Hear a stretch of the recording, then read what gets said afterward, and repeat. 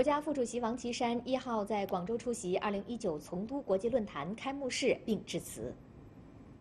国家副主席王岐山一号在广州出席二零一九从都国际论坛开幕式并致辞。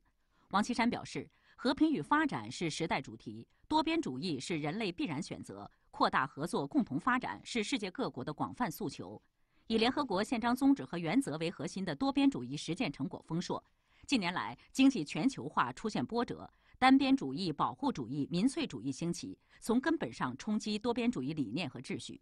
王岐山指出，中国始终坚守联合国宪章宗旨和原则，广泛参与国际组织和国际公约，恪守世贸组织规则，为推动世界经济复苏增长作出重大贡献。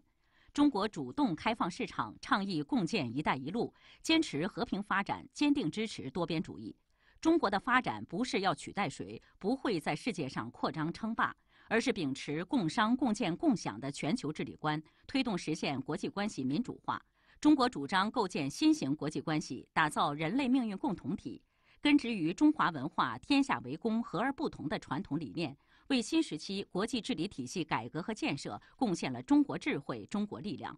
王岐山强调，可持续发展是开启多边主义合作新实践的金钥匙。中国将可持续发展作为国家战略，践行新发展理念，推动经济高质量发展，统筹好经济社会环境之间的关系，形成绿色发展方式和生活方式。中国愿同国际社会携手合作，全面落实二零三零年可持续发展议程，积极参与应对气候变化国际合作，打造开放共享的世界经济，建设普惠包容的幸福社会，构建人与自然和谐共处的美丽家园。出席论坛期间，王岐山同世界领袖联盟主席弗赖贝加、法国前总统戴高乐曾孙女娜塔莉·戴高乐等国际友人简短寒暄。中共中央政治局委员、广东省委书记李希出席开幕式。